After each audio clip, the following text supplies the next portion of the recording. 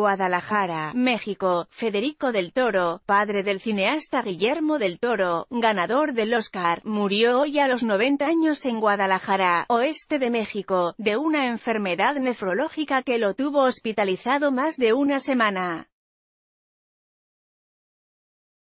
El gobernador del estado de Jalisco, Aristóteles Sandoval, le expresó sus condolencias a la familia de Del Toro mediante un mensaje en Twitter. Lamento profundamente el fallecimiento del señor Federico Del Toro, padre del cineasta Guillermo Del Toro. Mi más sentido pésame para toda la familia, que pronto encuentren resignación, manifestó el gobernador. El director de la multipremiada cinta, La forma del agua, llegó a Guadalajara, capital de Jalisco, desde el pasado 18 de julio para estar cerca de su padre, de 90 años de edad quien se encontraba grave por complicaciones en los riñones.